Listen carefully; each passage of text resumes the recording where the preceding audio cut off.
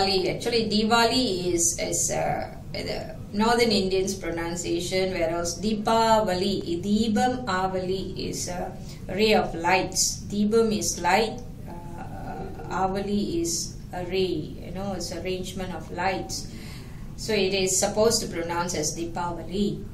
And the oil bath is uh, is actually signifies as Ganga Snanam, which uh, we take early, uh, first thing in the morning, as early as 4:30.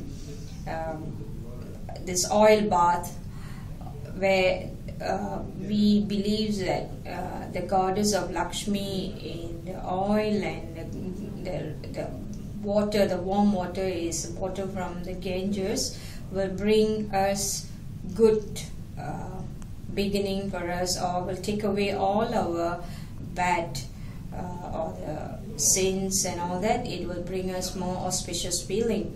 And this um, oil bath is compulsory for uh, this as part of our Deepavali uh, uh, dues or the rituals, and this this normally will be started or initiated by our elders. They will put that oil for you know for head uh, by them, and once they take uh, this oil bath, they will have their new clothes, prayers, blessing from their parents, the elders, and uh, they also will receive the, uh, the, the gift, monetary gift from their elders, and um, then they will. Uh, the next thing they will do is go to temple. It's uh, uh, uh, another uh, compulsory uh, duty on the day. The, the family must go to temple to have prayers,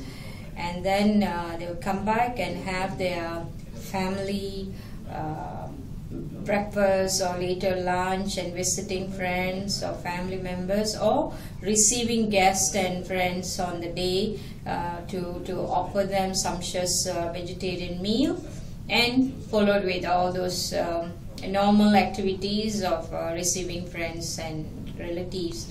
And at night uh, they will put uh, this this lamp the little little oil lamp use clay lamp made of clay um, in their house uh, surrounding the, the, the compound.